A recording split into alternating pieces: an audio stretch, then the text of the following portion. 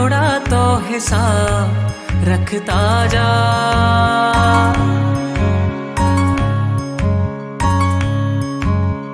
खूब थका तू अपनों की वजह, अपनों के लिए ठहर जा।